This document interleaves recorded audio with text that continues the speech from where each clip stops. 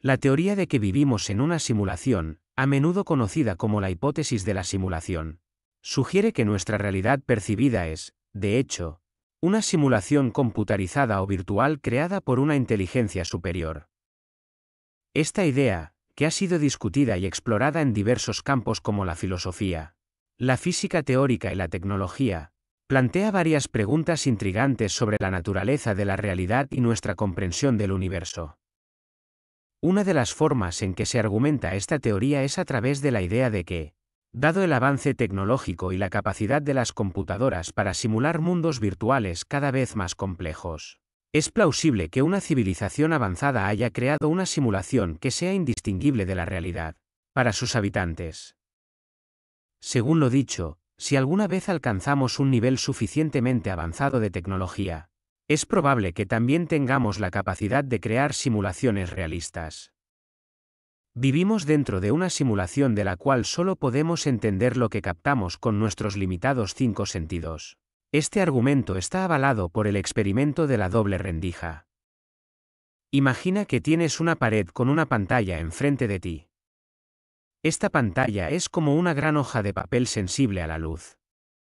Detrás de la pantalla, hay una pared con dos pequeñas rendijas, como dos puertas estrechas. Ahora, imagina que lanzas pequeñas pelotas, digamos canicas, hacia la pantalla desde el otro lado de la habitación. Si lanzas una sola pelota hacia la pantalla, ¿dónde crees que golpeará? Lo más probable es que golpee la pantalla justo enfrente de la rendija a través de la cual pasó. Hasta aquí, todo tiene sentido. Ahora, Imagina que lanzas muchas pelotas hacia la pantalla. Lo que esperarías ver en la pantalla es un patrón de dos líneas, justo detrás de cada rendija, ¿verdad? Pero aquí es donde se pone interesante. ¿Pero qué sucede cuando haces este experimento con partículas subatómicas, como electrones? Algo extraño sucede. En lugar de dos líneas luminosas, aparece un patrón de muchas líneas alternas claras y oscuras. Incluso cuando lanzas las partículas una por una, el patrón sigue siendo el mismo. Parece como si cada partícula pasara por ambas rendijas y luego se interferieran entre sí, como si fueran ondas en el agua que se superponen. Pero lo realmente increíble es que este último patrón se produce solo cuando no hay un observador. Si observamos el experimento entonces el patrón en la pantalla es como el que obtenamos en el caso de las pelotas. Este resultado sorprendente lleva a los científicos a cuestionar la naturaleza fundamental de las partículas y la realidad misma.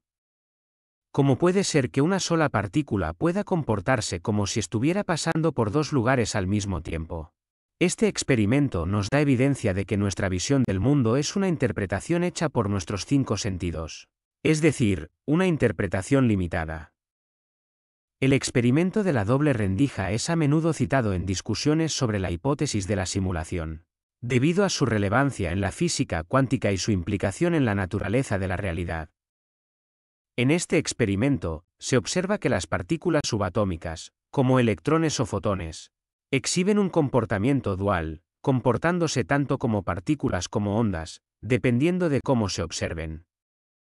Este fenómeno sugiere que la realidad a nivel subatómico puede no ser tan sólida o predecible como se creía anteriormente, lo que plantea preguntas sobre la naturaleza misma de la realidad. Algunas interpretaciones de este experimento sugieren que las partículas pueden existir en múltiples estados. Al mismo tiempo, lo que podría ser consistente con la idea de que la realidad es calculada, o determinada por algún tipo de proceso computacional. Algunos argumentan que la función de onda puede ser vista como una especie de código, que describe la realidad subyacente, similar a como los programas informáticos describen los mundos virtuales en las simulaciones por ordenador. Otras pruebas de que vivimos en una simulación. 1. Avances tecnológicos, nuestra propia capacidad para crear mundos virtuales cada vez más sofisticados, como los videojuegos y las simulaciones por computadora, nos hace cuestionar si una civilización mucho más avanzada podría haber creado una realidad similar a la nuestra. 2. Fenómenos cuánticos. La mecánica cuántica ha revelado fenómenos extraños, como la dualidad onda-partícula y la superposición cuántica, que desafían nuestra comprensión tradicional de la realidad. Algunos sugieren que estos fenómenos podrían ser indicativos de que nuestra realidad está siendo calculada por un programa informático. 3. La incapacidad de explicar la conciencia. A pesar de los avances científicos, todavía no podemos explicar completamente la conciencia humana y cómo surge de la actividad cerebral. Esta brecha en nuestro entendimiento sugiere que podría haber más en la realidad de lo que podemos percibir o comprender. 4. Argumento ancestral.